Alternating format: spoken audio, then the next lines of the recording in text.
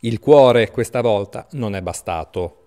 L'Unieuro Forlì è caduta sconfitta nella decisiva gara 5 del Palamangano e dovrà così giocarsi le residue speranze di salvezza nella serie contro Chieti e, ancora una volta, senza il vantaggio del fattore campo.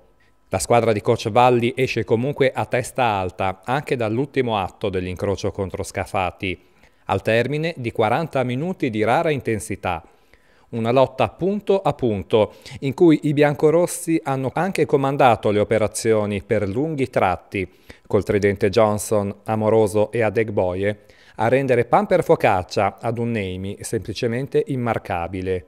Forlì prova a scappare via ad inizio terzo quarto, volando fino al massimo vantaggio di più 5, senza però azzannare alla giugolare la partita, e nell'ultimo periodo è il play israeliano a mettersi in proprio.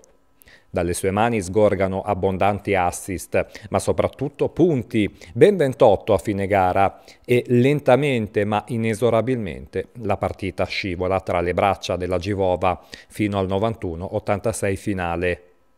Forlì tornerà così in campo domenica sera al Palatricalle e sarà l'inizio di una nuova storia, un bivio che deciderà in maniera chiara ed inequivocabile il destino della pallacanestro 2.015.